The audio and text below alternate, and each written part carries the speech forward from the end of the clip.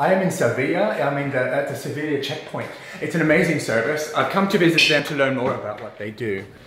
And, beg your pardon. And here they are, the team. This is the Sevilla checkpoint team. Hello.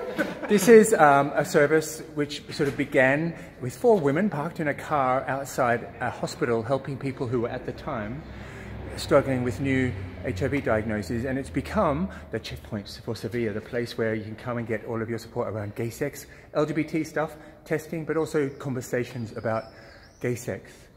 Uh, Diego, tell us in Spanish what, about the checkpoint here. Sí, bueno, pues somos un sitio donde podéis encontrar un espacio cómodo, a gusto, donde hablar de vuestra sexualidad, si hay consumo de sustancias o no hay consumo de sustancias, haceros chequeos sexuales y sobre todo encontrar gente que son amigos, que os van a comprender, a entender, que hablamos el mismo lenguaje y que somos como vosotros.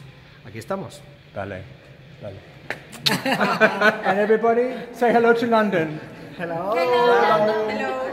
Bye. Bye. Bye.